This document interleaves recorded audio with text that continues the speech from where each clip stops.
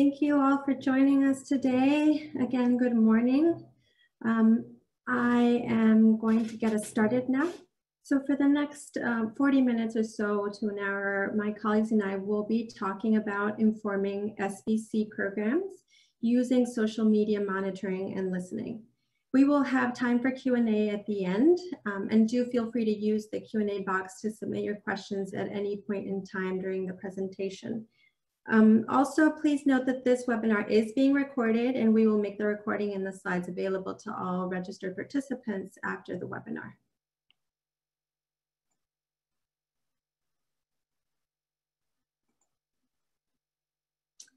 So I'm very pleased to share this space today with two other colleagues. My name is Martha Silva, and I am an assistant professor at Tulane University School of Public Health and Tropical Medicine. And I'm also data strategist and innovation team lead for the Breakthrough Research Project.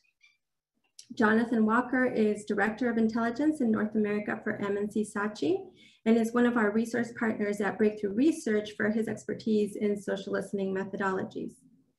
Cynthia Irakoze is a program specialist at the Johns Hopkins Center for Communication Programs. And Cynthia supports the Breakthrough Action and West Africa Breakthrough Action projects, um, which you will hear about today. In this presentation, I will start by giving you a brief introduction on Breakthrough Action and Breakthrough Research, and then Jonathan will provide an overview of why we think social media content and metrics are becoming more and more relevant to consider when looking at ways to inform and evaluate SBC programs.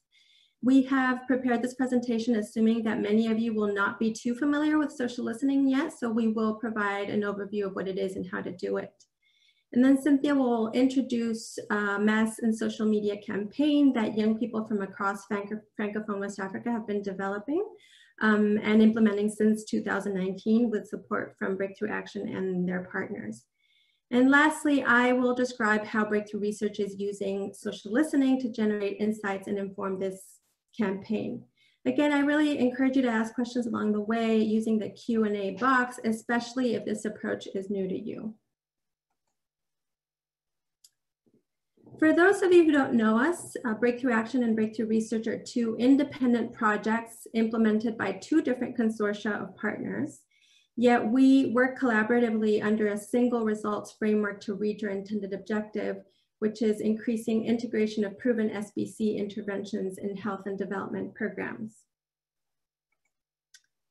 We are USAID's flagship investments in social and behavior change. Breakthrough Action works in partnership with governments, civil society, and communities around the world to implement creative and sustainable SBC programming, nurture SBC champions, mainstream new techniques and technologies, and advocate strategic and sustained investment in SBC. Breakthrough Research fosters social and behavior change um, by conducting cutting edge research and evaluation and promoting evidence-based solutions to improve health and development programs worldwide. Now I'll hand the presentation over to Jonathan to help us jump right into the topic at hand. So why should we care about data coming from social media and what is social listening and how do we do it? Jonathan? Thanks, Martha. Hi, everybody. Um, as Martha said, I'm going to walk us through what social listening as an exercise encompasses and why we use it. And before that, though, I'm just going to set the scene a little bit and try to provide some context as to how and why social listening is becoming so important um, and such an important part of the researcher's arsenal. Um, I'm kind of conscious as well that many of you may be unfamiliar with social listening, as Martha said. So please do feel free to submit any questions that you have along the way and hopefully we'll address them at the end. Um, so moving on to the next slide, um, I guess just kind of starting from the start, it's kind of, for me as a marketer and when I think of kind of the different tools we have available to us, um, I, I, think of social listening as a source of insight in 2020. It's just, it's kind of easy to forget how far we've come in the last 15 years. So if you think about it, Facebook was created in 2004, uh, Twitter 2006, and the first iPhone was actually only released in 2007. So just 13 years ago. Yet what we've done in the meantime is it's quite remarkable. Um, and especially when you consider that we didn't even have the app versions of these these um, applications until around 2013.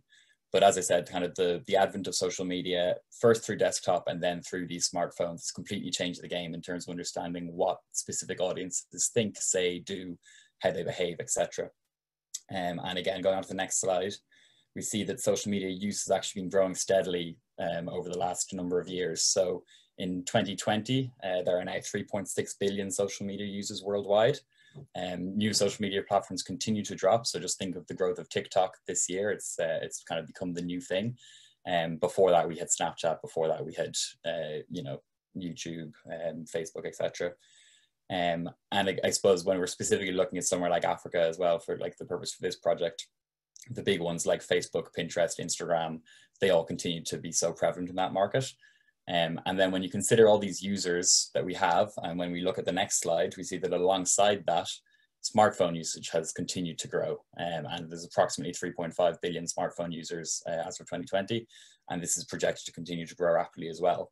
I think the crucial thing here is to understand and kind of why I'm stressing the smartphone point is that it's given us as researchers direct access um, to what people are thinking in the moment at the time. Um, because it does allow for their spontaneous thoughts to be shared. So in many ways, the smartphone has just given us kind of direct, unlimited, unbiased access to the thoughts and attitudes of billions of people, um, as opposed to talking to them after the fact. It's actually getting sort of in the moment, um, in the moment behavior and uh, understanding of what what they think. And so next up, um, you know, we see that alongside this kind of the increased use of smartphone and the increased number of social media users, people are actually also spending more and more time on social platforms every day. Um, so this is a, a, list of countries here, but if we look down at the bottom left, you see Kenya, for example. in 2017, they spent approximately two hours and 50 minutes a day on social media. Um, as of 2020, that's now up to over three and a half hours. And this is something that we see across almost every country, and you know, in South Africa as well. Um, and what we're just seeing is that people are spending longer and longer on social media, which means that they're more exposed to the things that they're seeing and they're more likely to be creating content um, themselves as well. And when we look at the next slide and who actually uses social media, and we see that it is predominantly young people. I mean, it, it's, it's all generations, but young people especially it skews towards. Um, and then also most interesting, it does skew pretty heavily towards um, the low and middle income countries um, who are spending, you know, more than three and a half hours per day on social media, which is higher than Europe, Asia, and North America. So this just gives us, um, I guess, a lot of context as to the importance of social media and where it's going, and and that these markets are actually on it. Um, and when we go to the next slide, um, we kind of, yeah, as I said, this kind of set the scene. I think I'd, I'd like to hope. Um, but next we look at kind of what social listening is as a practice. Um, and I guess simply put, social listening is used as an umbrella term for tools and approaches that gain insights into what people are viewing, liking, chatting, commenting about online. It kind of lets us get under the skin of what people think and, and say online. Um, but there is also an important sort of clarification between social media monitoring and social media listening. As I said, I'm, I'm quite aware that some of you might not be aware of these things. So I'm going to now just kind of try to define what each of these is. Uh, so on the next slide, we see social media monitoring. Um, and sort of simply put, this is basically used to track a campaign or brand performance uh, using the quantitative metrics that we have. And um, so this would answer questions such as, you know, what is the awareness and level of engagement uh, with a campaign on social media platforms? So this might be if you have a, if you have a campaign and you have a dedicated hashtag associated with that, social media monitoring will kind of get under the skin of, you know, what the engagement with that hashtag is, um, who's liking it, who's sharing it, etc. Uh, we can also look at the volume of conversation related to a key topic. Um, and we can look at the sentiment of those conversations um, related to that campaign or that brand or that topic. Um, so social media monitoring, just kind of underline it, is essentially the quantitative measurement of a campaign or a conversation. Whereas social media listening is, uh, if we just, yeah, social media listening is essentially what allows us to qualitatively understand um, a brand or a campaign or a hashtag or a, a topic. Uh, so this will allow us to kind of get under the skin of who is messaging about topics and topics of interest um, and what they're specifically saying. It allows us to understand where these comments are coming from um, it allows us to understand, as it says there, the unbiased attitudes and behaviors of an audience on a specific topic. So if, as in this case, it's people talking about sexual behavior or family planning, it allows us to kind of see what their in the moment responses are to certain things happening around the world, um, or even just their attitudes towards a certain topic and what they're thinking on that. Um, social listening also allows us to understand what misinformation might exist. So particularly in this analysis as well, or th this example, we've seen posts of people kind of talking about their family planning behaviors and we understand that there might be kind of misinformation um, permeating throughout social media. Uh, so this allows us to kind of try and tackle that head on. Um, and then also finally, it allows us to understand what insights can be learned about underlying attitudes and social norms. So kind of a, a recap of what I've said above. But I think an important thing here just for everyone to think about is how can you or how could you possibly leverage, leverage this sort of data to redirect, redirect your C, SBC programs. Um, but just to go to the next page, I think what kind of sums up social listening again in a, just a quite nice way is from a quote from Gohar F. Khan, who's the author of Seven Layers of Social Media. And he simply says that social media listening is the art and science of extracting valuable hidden insights from vast amounts of semi structured and unstructured social media data to enable informed and insightful decision making. So if you think about social media kind of as being sort of the wild west of anybody can say anything online, what social listening is doing using tools and, and um, you know, processes is going out and gathering all of that data together um, you know, whether it be likes, comments, just posts that you're putting up yourself. It's getting a handle on all of that. It's structuring it into sort of um, you know designated buckets based on what's being said or what the keywords are within the comments. Uh, and then it's basically finding insights from that and then from those insights we can then actually start making informed decisions about how people think and act and what they say um, so when we move on to the next slide um, i just wanted to put this up to kind of understand where social listening fits in alongside traditional research, because as I said, I'm conscious that some of you aren't or are probably quite heavy traditional research uh, focus. So I want to understand how these processes can complement each other. Um, and as I mentioned before, the smartphone has kind of given us this view of unfiltered, freely volunteered thoughts and opinions of their audience. So just when you're comparing it to something like a focus group, um, social media analysis basically extracts consumer insights from unsolicited conversations. Um, so they're not being asked what their opinion is on something, it's purely what they are freely admitting or freely putting out there. Um, so in many ways, social media data, particularly from a marketer background, is argued to be one of the most passive data sources uh, that we have to hand. It's likened to a series of unstructured qualitative exercises and often with a relatively large sample size as well, depending on the market that you're looking at. So the great benefit of social data is definitely the ability to turn back time and capture responses in the moment, rather than asking respondents to post-rationalize what their thoughts or opinions may have been.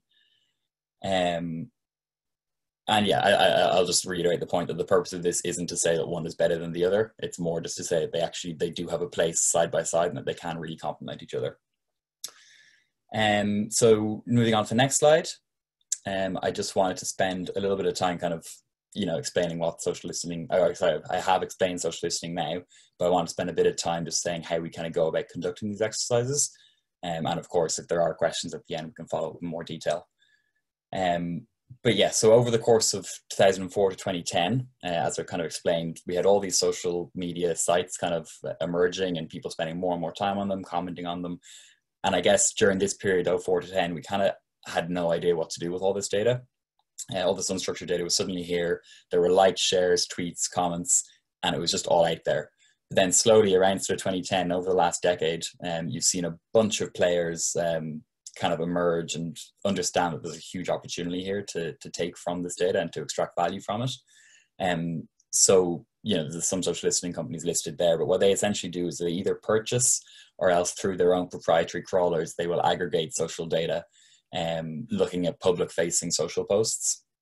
Um, and yeah, we've basically we've seen an explosion of these companies emerge. Uh, there are a whole host of them. I'm not going to go into what all they are, all of them are.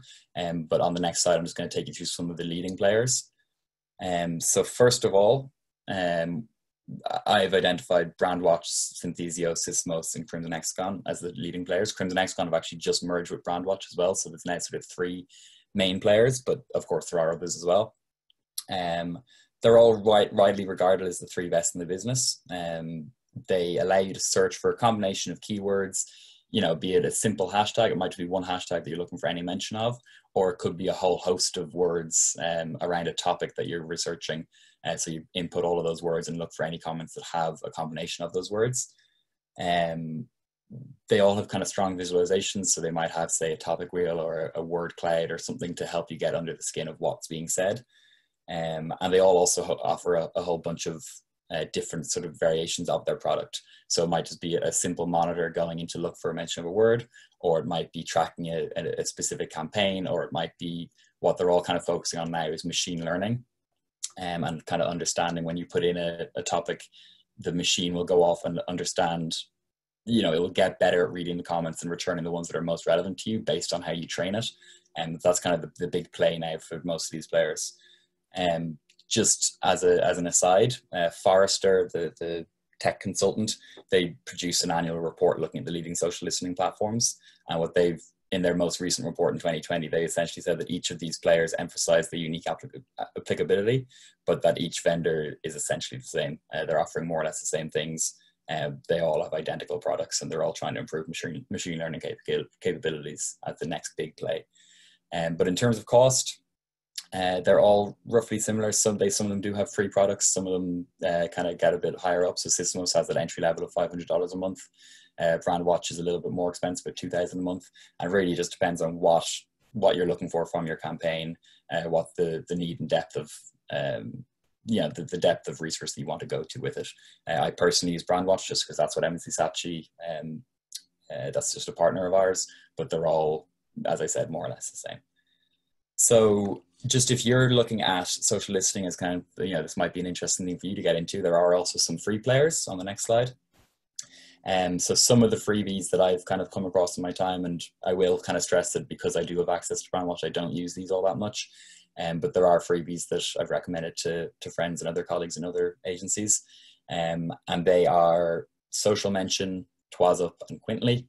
Uh, they're all roughly similar. The, the slide shows a screenshot of a social mention um, search, but essentially what they do is they work in a very similar way to the likes of Brandwatch and Sysomos. You put in a word that you want to track and see mentions of, um, and then depending on that, it will return what it finds. Social mention is probably the most kind of um, sophisticated of them. So that's why I've uh, included that on this slide. But basically, it's a media search analysis platform, and it will look at it'll get all the user generated content into a single stream.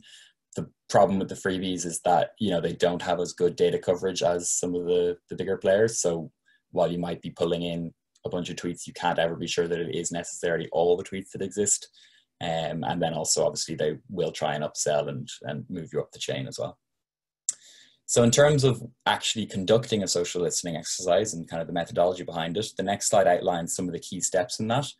Um, so kind of step number one, whenever you're approaching a social listening product is or project, is to understand what conversation terms um, you are looking out for and, and to conduct your Boolean search string.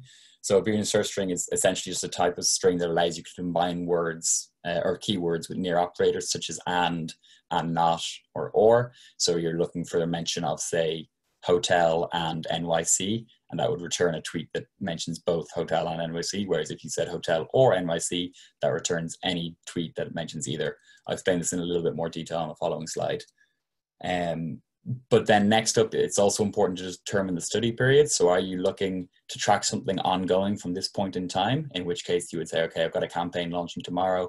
I'm going to track how effective that is over the next two months or are you looking to try and understand attitudes and behaviors from you know a year ago so that you can then inform how you go about launching this campaign? And that would just be a case of setting your dates and saying okay i'm looking at 2019 data. Uh, i want to understand that. Uh, other considerations that you might have are what social media sources you want to monitor and there are some complications here in that facebook and instagram are typically very difficult to get data on ever since the cambridge analytica scandal um, so essentially, if you're setting up a campaign and you want to monitor a hashtag, you can do that and you can follow that on Instagram, but you can only do it uh, kind of forward facing. So you can only set it up and then track from then. You can't necessarily look retrospectively. Whereas something like Twitter, YouTube, uh, any blogs, news sites that have sort of social um, social presence, all of those can be done retrospectively. So again, it's just about what the aim of the go of the product project is and how you want to go about doing it. And then essentially, once you've done all of this stuff, that's when you would then work with the programs that I've outlined before, uh, the likes of Brandwatch, uh, to input your Boolean search string, understand what data is coming back, and then try and train the machine to kind of recognize what is important, what is what we call noise, which is basically irrelevant volume, um, and yeah, train the machine to to get that right, and then we can start digging into what the volume of posts are, what the sentiment is, where people are engaging with it, and why. So when we actually put this into practice, um, I mentioned before the Boolean search string, and we go on to the next slide, um, you'll see kind of the thought process of this. So for this particular project, we were looking at family planning, uh, looking at sort of attitudes towards sexual behavior and, and safe sexual habits. So when you're thinking of that, immediately you might think, okay, some of the key words that I want to think of are sex, contraceptives, condoms, pregnant, and you start kind of thinking of that. Those are kind of obvious ones. Then you start thinking, okay, but also there's some local nuance to this market. So maybe I need to understand what sort of terms people might be saying in their local vernacular. So you see so we reached out to some local partners in Francophone Africa and saw words like skin to skin, essentially means unprotected sex, or bareback, or smash, or knack. Uh, all these kind of local nuance words we may not have understood before. So we might add those into the Boolean string. On top of that, as you dig deeper, you might then think, okay, well, what are the consequences of unprotected sex? There's STDs, there's HIV, uh, there's the fact that you need to get tested or know your status. So kind of as you, as you see as you dig deeper and deeper into it and into the topic, there's more and more words coming out, which is where Boolean search strings are so important to really make sure that you are getting the most sort of accurate and relevant material coming back. And then adding on on top of that, sorry, there's additional words, so maybe something around sexual violence or the issue of consent or who it might be with, whether it's with your husband or your sexual partners. So this just helps you kind of understand the, the many layers that go into formulating a Boolean search string, which I think is why it's probably the most important part of any social listening project to make sure that you get this right from the start. Um, and then just to the next slide to kind of show you how this might go about building. So I mentioned before um, about the near word operators and the conjoining words. So for example, this one on screen, this would get you any mention or any tweet that mentions sex and condoms together, um, which all well and good, or else you could change that for or and it would get you any mention of sex or condoms. When we add in uh, these brackets, and a near word operator of 10, what this is essentially doing is looking for mentions of sex and condom within 10 words of each other, which I think is really important because, you know, otherwise you might get a blog post that, you know, in sentence one mentions sex and four pages later mentions condo and they're not really linked at all. Whereas with a near word operator, it just allows you to really hone in and make sure that what results you are pulling back are as relevant as possible. So on the next slide, I'm just going to show you a kind of a a snapshot of one of our search strings for uh, a project that we've done this year. And this isn't meant to intimidate you or make it daunting in any way, but it's just to show you kind of the level of detail that does go into these. Um, and obviously this is just a snapshot of one. It's looking at one particular subtopic of the overall topic. Um, and also when you consider we're doing this in different markets, we might have different languages, etc. What this allows you to understand is that we're looking for things like condom sex, raw sex, um, had sex, etc. But then in combination with words like had, have, I, am, just to try and make them more and more relevant and to make sure that what we are pulling back is the, the most applicable thing. And so at that point, I think I'm now going to hand you over. Um, but as I said, by all means, do ask any questions that you might have. And I've seen some of them coming in as well. So I'm excited to look at those. Thank you, Jonathan. Um, now are we now we are moving on to the first application of social media monitoring and listening that I will present to you. And first of all, I would like to acknowledge the whole team, the consultants and Breakthrough Action Project staff that work on this uh, campaign. Breakthrough Research is conducting an evaluation and of social media and mass media campaign for Merci Mon Héros, which means thank you, my hero in French.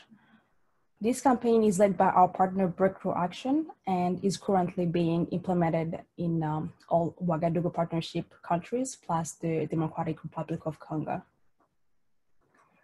As you can see on the left, this is the original campaign logo. And to the right, we have the campaign tagline that encourages youth allies to talk to young people.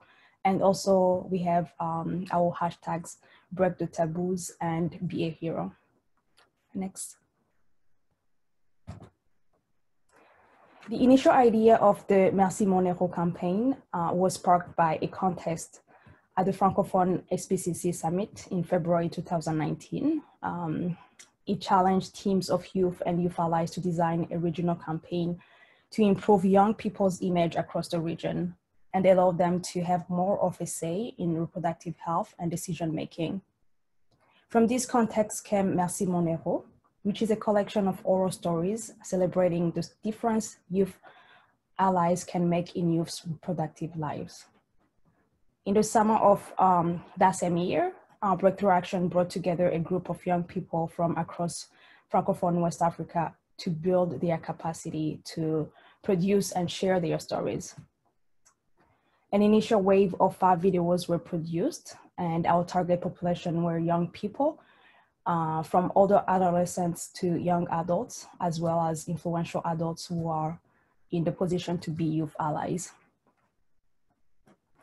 Merci Mon Héros launched its first uh, videos online in November 2019 uh, via um, Facebook, Twitter, Instagram, and WhatsApp. And after that, the campaign was broadcast and promoted on TV, radio, community-based activities, um, such as public screenings, discussions, flash dances, etc. In its um, and that that were that was in um, the four countries and subsequently in an addition of five francophone countries. The video was covered topics uh, included first periods, first sex, first pregnancies, first relationships, and family planning method use. Uh, heroes include mothers, teachers, sisters, aunts, uncles, friends, and partners. Next. As you might infer from the logo and tagline, uh, the campaign objectives are to encourage young people to talk about their real realities around reproductive health and family planning. Uh, you also encourage uh, adults to overcome restrictive social and gender norms. Also, uh, it, stipulates, stimulates discussions between the youth and adults uh, to identi identify the, these restrictive social and gender norms um, to, and to address them, shift these norms and remove the shame and taboos that prevent young people from accessing reproductive health and family planning information and services. Next, okay. Since the launch of our campaign in November last year, we've built quite an online following, uh, leveraging the MMH regional consultants, existing networks, promoting our social media page, uh, pages at in-person and mass media events, and also through our online influencers. Our most active platform has been Facebook, as you can see on the slide, um, where we now have, uh, I checked this morning, it was 29,000 followers, um, with a potential reach of over 1 million. You can see here also an overview of the types of content, content that we post to each platform and who we see as our priority audience for each. Uh, next, okay, good. Aside from promoting upcoming uh, video releases and our Facebook Live sessions, we also promote our mass media and in-person activities in multiple MMH uh, countries. We share the dates and times when MMH teams we appear on local TV and radio stations. We share um, we shared videos of some of the team's activities at the recent Ouagadougou Partnership annual meeting.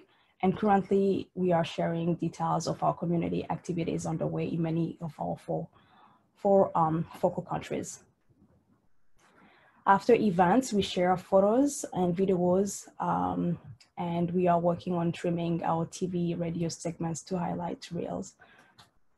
When possible, we also make an effort to link our community activities with the videos we launched online that week or month and discuss the themes that come up um, in those testimonial, testimonials in person. We also work with social media influencers to share some of our content to and to extend um, the campaign's reach and help build its following. I will now pass it on to Marta. Thank you, Cynthia. So um, now I'm going to talk about the, um, the evaluation um, component. So as part of the evaluation that Breakthrough Research is conducting of the Merci Mon Héros campaign, uh, we are using social listening in the following ways. So we want to understand what attitudes towards sexual behavior and family planning were observable in online conversations prior to the launch of the campaign. We also wanted to understand the level of engagement that the campaign has on social media, as well as provide programmatically useful feedback for possible mid-course correction to breakthrough action so that they could act on this information.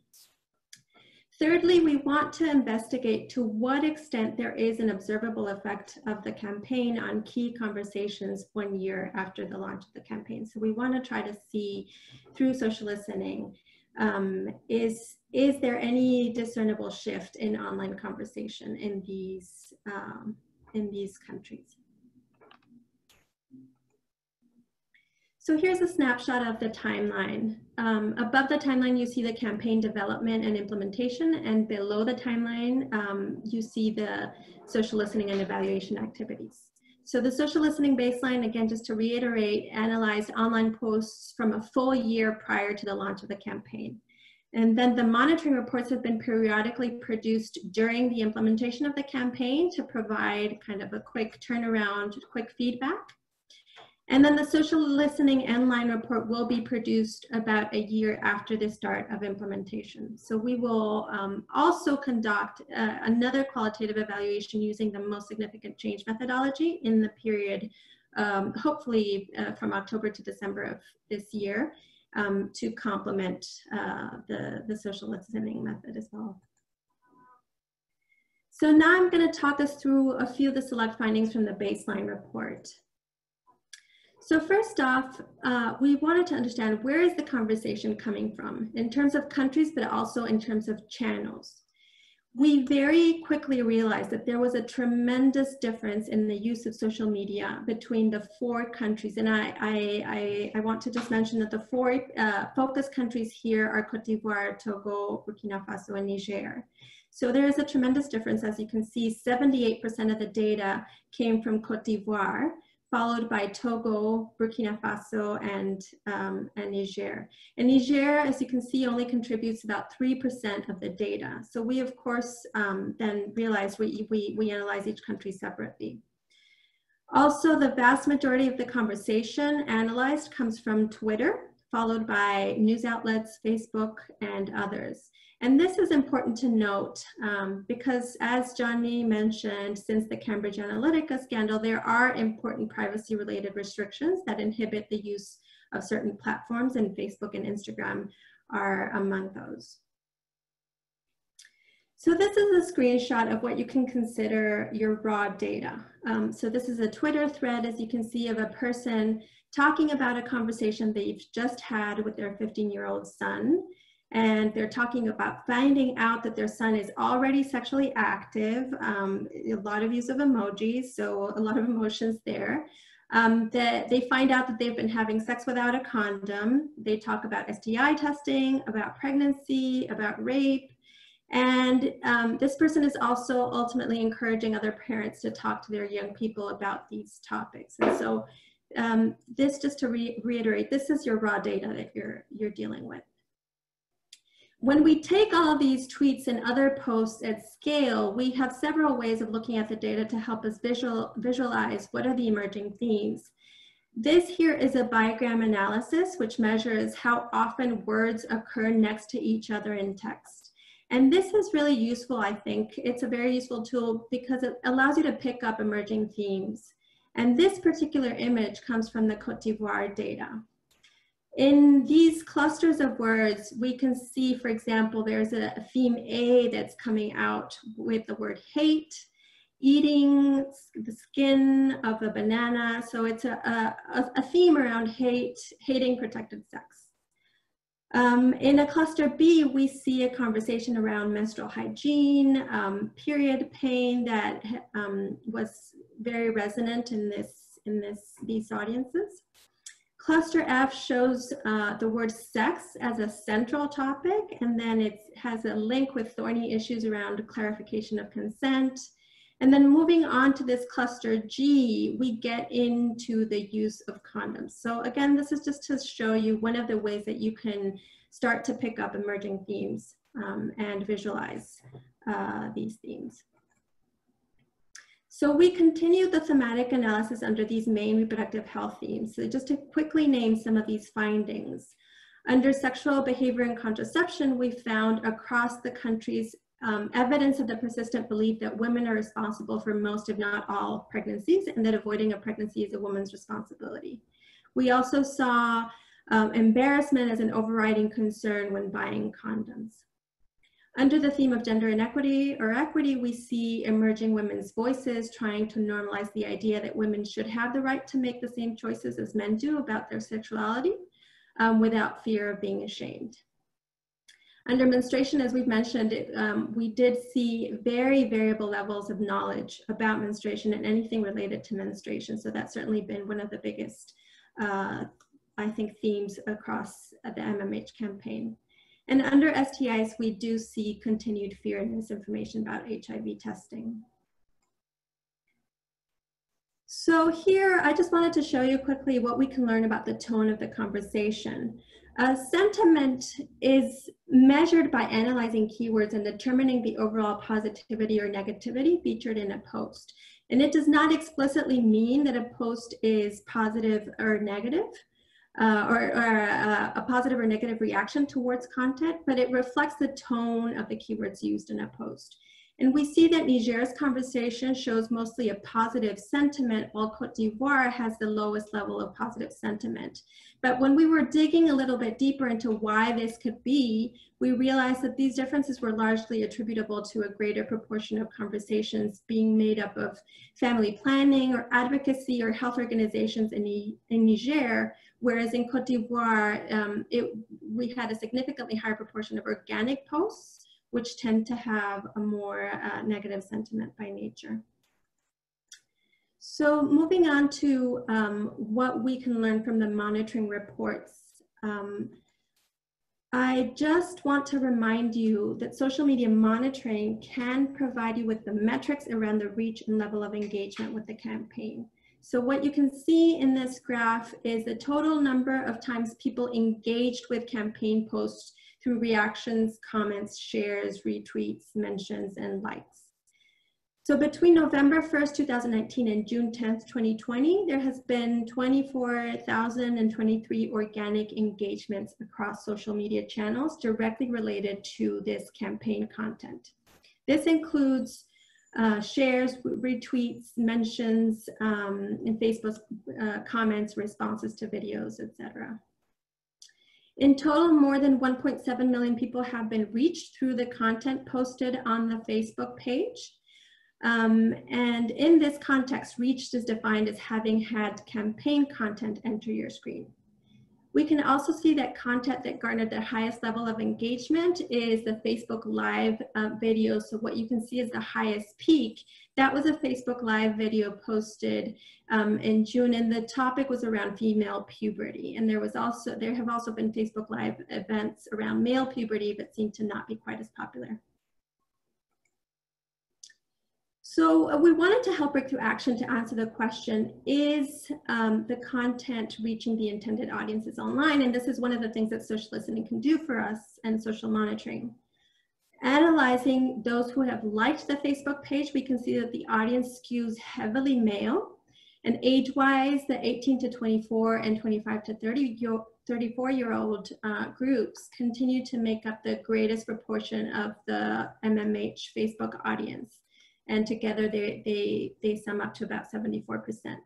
So the content that is produced is likely to be seen by predominantly younger and predominantly male audiences. So um, the older youth allies, the, the older audiences um, that represent the other primary target group is likely not being reached through these channels at least.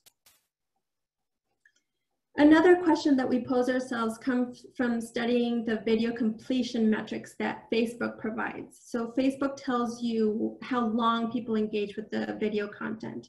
And this graph shows that the proportion of viewers that view less than three seconds and less than 30 seconds um, uh, is, is quite large.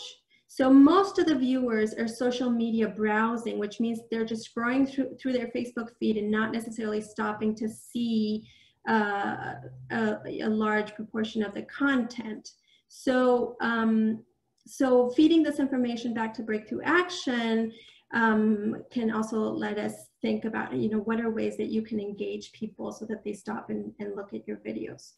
The last three columns that you see are videos that have been posted more, more recently, um, and we do see that the proportion of, uh, of views that have watched uh, you know, more than 95% of the content is significantly greater. So we'll hopefully um, see an improvement there.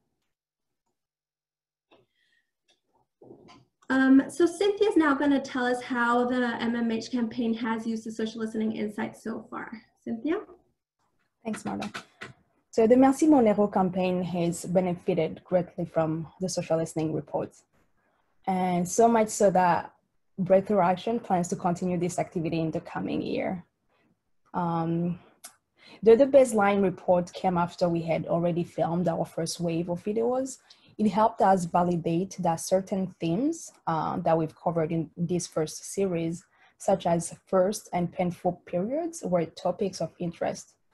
And um, accordingly, this became a topic we explored far further during multiple Facebook Live sessions with a midwife. Um, for instance, female puberty, regular and irregular cycles, a cycles linked to fertility, and why both sexes um, should understand menstrual cycles. And as I mentioned um, earlier, it also helped orient the campaign to other themes of interest, uh, including gender roles, couple communication, and unplanned, unplanned pregnancy. We are hoping that this and working with female uh, influencers will help us increase our female audience. The reports also helped us make specific changes to our campaign uh, materials, specifically shortening our intro, uh, in introduction, and um, the overall video length from about uh, four minutes to about uh, two and a half minutes. We are also adding another video format for the next wave where key messages will sometimes be shared upfront rather than at the end of the video. And now we post um, teasers uh, to build interest before the video itself is posted. Uh, we also made changes to our social media strategies. Um, we now post more consistently on Facebook, continue our Facebook lives, and we add more visual content. Uh, and we're trying to figure out how to have more norms focused discussions versus consistent event promos. Over to Martha. Oh, I'm sorry.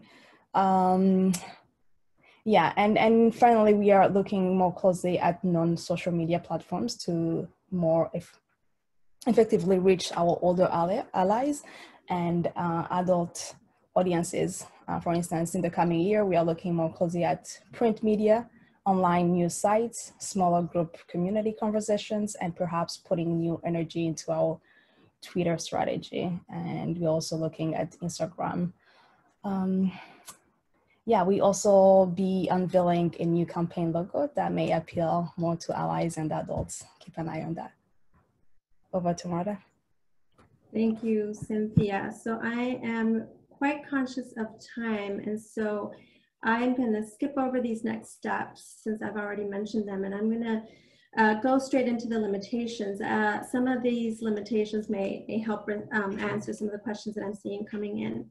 So I obviously think it's always important to talk about the limitations, um, especially with we, when we have these new tools that are very exciting.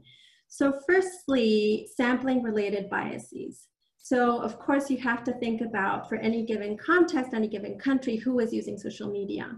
Um, just as I've shown you um, the vast differences that exist between Cote d'Ivoire and Niger in terms of the volume of online conversation and engagement, um, we know that social media users tend to skew younger and they tend to skew male. So this can vary a bit by social media platform, but I think it tends to hold true across the board. So being very conscious of, of who is participating in this conversation. Second, um, topic resources. The analysis tools that, that Jonathan has mentioned, they can scrape data from public facing social media platforms um, including, you know, mostly uh, Twitter, YouTube, everything that you see here. We have mentioned this limitation of using Facebook um, and Instagram, especially since the Cambridge Analytica um, scandal. In the case of Merci Mon Héros, we were able to analyze Facebook data by gaining administrative access to the MMH campaign page. Um, but you have to be aware of this particular limitation when you use Facebook page. So retrospectively, before the campaign, we weren't able to, um, to, to get a hold of a lot of Facebook data, um, but for the monitoring uh, report purposes, we were. Next, the machine uh, learning process involved in identifying relevant conversation and also in analyzing topic sentiment is getter be getting better and better. Um, maybe not by the day, but certainly very quickly, but it cannot be considered complete or exhaustive. So there may be um, parts of the conversation that you're missing um, because, uh, you know, as, as kind of this machine learning process evolves. Fifth, um, to what extent do we know if people are more likely or less likely to be subject to social uh, desirability biases? And I think I saw a question come in related to that. And I, I, I personally, um, you know, I'm not sure. Are people more honest and open online than they would be face to face to face with another person, as Jonathan was mentioning, because they're capturing either tweets or comments or opinions in the moment um, about something that's happening that's relevant? Or are uh, people more likely to pose in some way in social media? Um, apologies for the ambulance uh, noise. So uh, for me, this is something that is still um, a little bit um, unresolved, uh, and I'm happy to engage in a debate in that. Lastly, the I think, at least in my opinion as well, the jury is still out from our point of view as to how sensitive a tool social listening and analysis can be to detect changes in conversation that can be linked to a particular campaign. So we're really looking forward to learning through this upcoming end-line analysis and documenting lessons learned from, uh, from this process about how to use social listening in evaluations. So just to finish, I wanted to provide you with a, a preview of what some of those lessons learned have been. Um, so firstly, as I've mentioned, you have to consider whether to invest in social media um, platforms or outsourcing. And Jonathan mentioned some of the options out there we personally decided to partner with M&C Saatchi Intelligence. And the great strength that this partnership brought is that they, unlike other marketing firms that we uh, um, talk to, they have experience working in the global public health arena. Um, and so not approaching social listening uh, from that marketing angle, which uh, uh, is not always kind of super in line with the public health or development field. Um, and so as we're really kind of wanting to explore the outer limits of what we can do with social listening, especially for campaign evaluation purposes, um, we're really glad to have this partnership um, with MC Saatchi. So next, as I just alluded to as well, um, you, we need to think about who uses social media in your country of interest and what is the volume of online conversation. Um, and so when considering, is this a, a, useful tool or not in, in the context, um, you, you might have to think about the audience. So who are you interested in, in learning more from and who is participating in this online conversation? Um, again, you know, as, I, as I've mentioned, I, we see now that social listening is probably a better tool to use in Cote d'Ivoire than it is in Niger although it has definitely been illuminating to compare the outputs by country. Um, another element to consider in all of this um, is the most relevant social media platforms in your country of interest. Um, as I said for our baseline study, um, clearly in all four countries, the most used platform is Facebook, yet we could not access Facebook data due to the limitations that I've already mentioned. Um, thankfully through the, the partnership with Breakthrough Action and uh, gaining administrative access to their page, we were able to incorporate that um, for uh, the monitoring piece. Um, next, um, recommendations from the social listening experts. Use pronouns to refine your search and you can get a much cleaner data set. And lastly, um, as you would using other research methods, you should enter the project without preconceived notions of what you will find. So I think this brings us to the end and I know we have a lot of questions. Um, I want to just thank you for your attention and we can probably start answering some of these questions.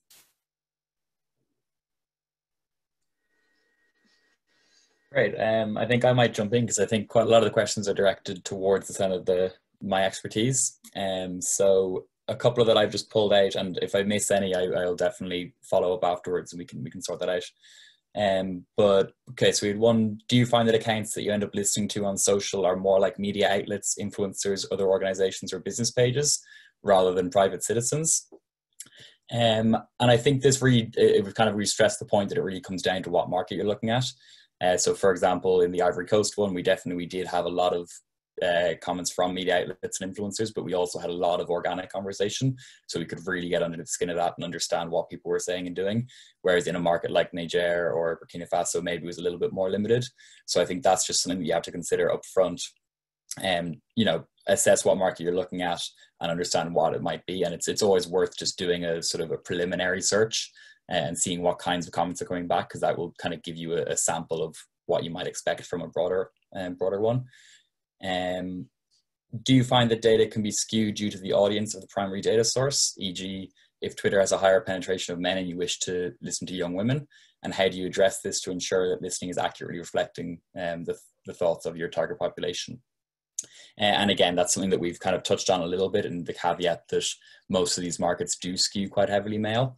Um, and again, it, it will come back to what market you're looking at, but these social listening tools do allow you to filter by gender. So if the particular project that you were doing specifically wanted to look at women, we could filter to look for comments coming just from women, and that would be okay. But again, the caveat there is just that a lot of these markets are heavily skewed male, so it just whether the sample size is robust enough.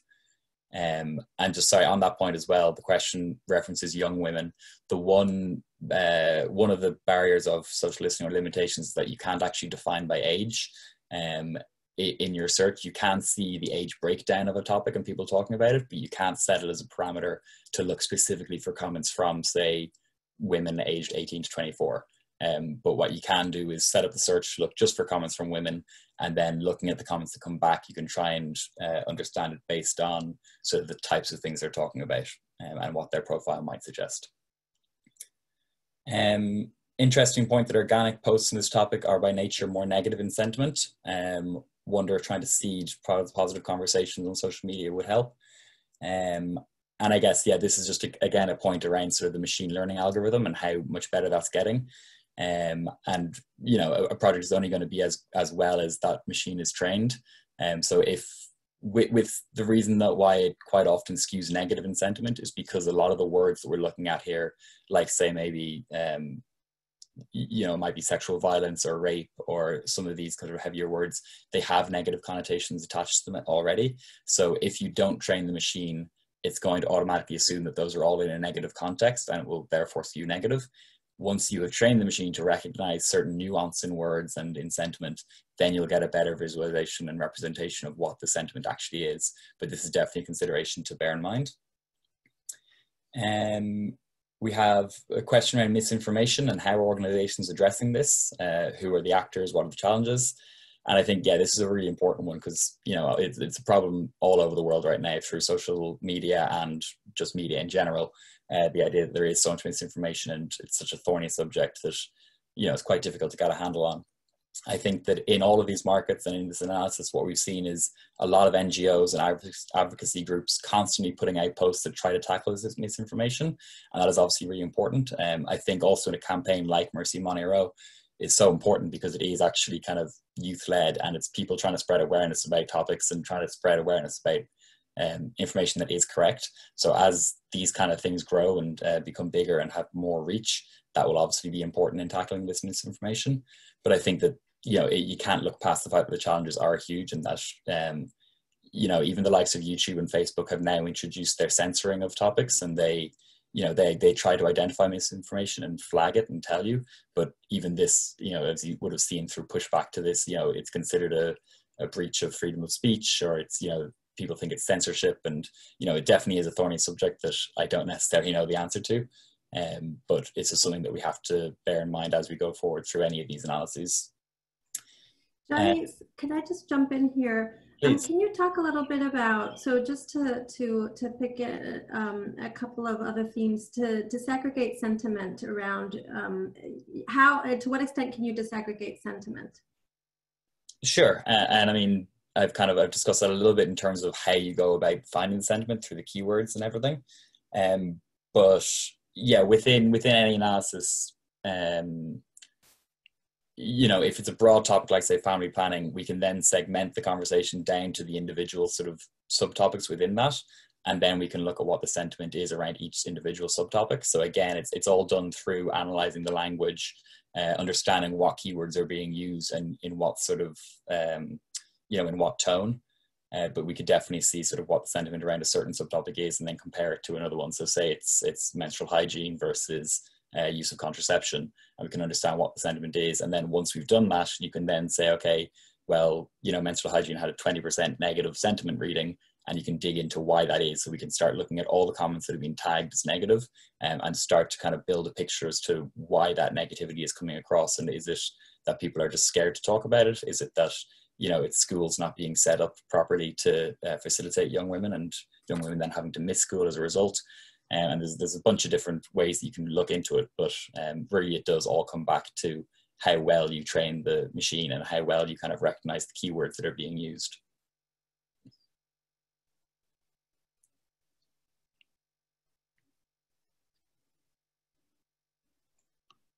Um, were there any other, Martha, that you thought were particularly good ones, or should I just continue through some of the other ones that I have here? Sure, keep going. It seems like um, yes. I'm, I'm having a, a, bit of a time trying to categorize these into different. Um... Yeah, I, I, know that one that's come up a lot, and I think you did actually answer it since it came up first, Martha. But one is just talking around the social media sources um, and which ones can you get. Uh, one that many people asked about was WhatsApp, and unfortunately, WhatsApp is, I mean, unfortunately, from the point of view of social listening, fortunately, from the point of view as a user, uh, it is a completely wall-to-wall service. It, it is no way that you can get that data. It's encrypted. And um, so WhatsApp cannot be included in any sort of social listening thing and no, nobody has access to that data. Um, in terms of, as we've mentioned, Facebook and Instagram are the other two. It's just a case of if you have a campaign that's launching tomorrow, you can set them up in advance and, and do that. But if you're looking retrospectively, it's trickier. Instagram, there is actually some historical data there. So you can look at Instagram data from 2015 up until December 11th, 2018. Um, but obviously that's getting more and more outdated and the usage of Instagram is changing significantly as well since 2018. So it's becoming less relevant on that front. But as I said, you can set up a hashtag in advance and then track conversation that emerges around that hashtag. So unfortunately, we're at time. Um, we got a lot of really great questions, and um, I, I just want to make sure that we get a chance to provide an answer. So before, um, before logging off, I just wanted to say that we are going to have a, a further discussion on Springboard um, scheduled for October, where we're going to invite people to submit their questions, and we will provide um, answers through a a kind of online discussion session. And so we will share that invitation with all of the participants here so that we can continue answering these questions. I do want to make sure that we capture these questions and we are able to provide um, a, written answer when we when we share the webinar since we were a little bit short on Q&A time. Um, so I think that's that's uh, that's my commitment in trying to to get a few answers to the questions that we weren't able to touch upon. Um, but again, I just wanted to thank everybody for your participation, and we will be um, uh, sharing sharing resources with you. Thank you very much, and thank you again to uh, my co-presenters.